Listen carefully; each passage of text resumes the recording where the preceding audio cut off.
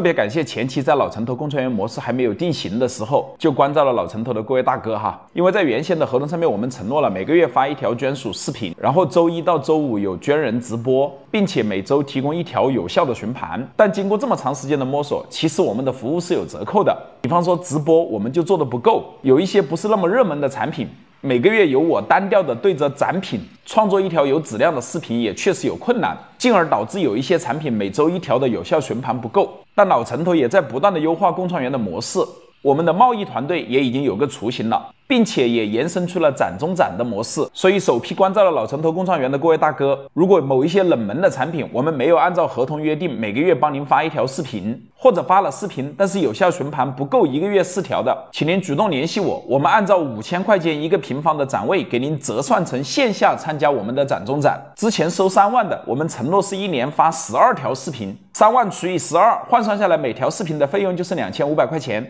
也就是说，您在我们的线下展厅以及我们不定期的线上直播都是免费给您提供的。所以，如果我跟您少发了两条视频，我们就给您补一次线下参加我们展中展的机会。那之前收五万或者六万的，也同样按照五万除以两千五，或者六万除以两千五，也就是收了六万的，如果您只是入驻之后我帮您发了两条视频，那么按照六万除以两千五就是二十四，二十四减掉两次就是二十二，每两条视频抵一次线下展中展，就意味着我要带您参加十一次我们的线下展中展。现在已经确定了的是，我们将在三月四号到六号参加在广州举办的 SP P.S. 广州自动化展，以及三月二十八号到三月三十一号在深圳举办的深圳工业展。而且这两个展会我们都拿了两百四十平方的这个特装展位。而今天之前入园的大哥，后续每个月发的视频也得麻烦您自己创作好，或者是您提供文案由我来配音，或者是您过来我们一起合拍共创，然后再由我的主账号发布。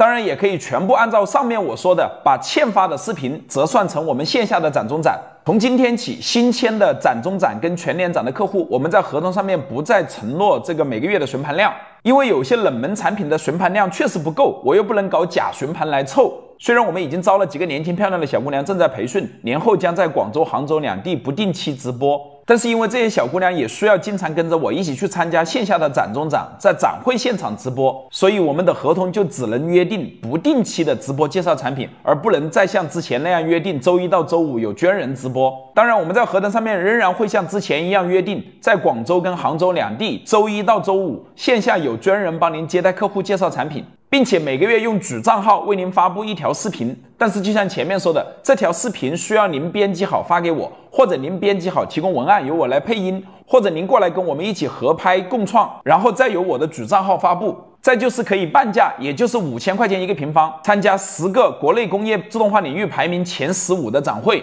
对于没有加入我们共创园的小伙伴，他需要跟着我们参加这种展中展的时候，我们是收他一万块钱一个标准展位的。当然，只要您的产品有创新、有特色、有性价比，我们过百人的贸易团队也非常愿意直接帮您做代理分销。